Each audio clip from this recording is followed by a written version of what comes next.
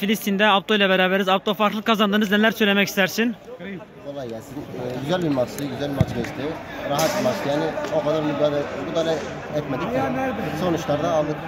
İyi tebrik ederiz. Bundan sonraki maçta da başarılar.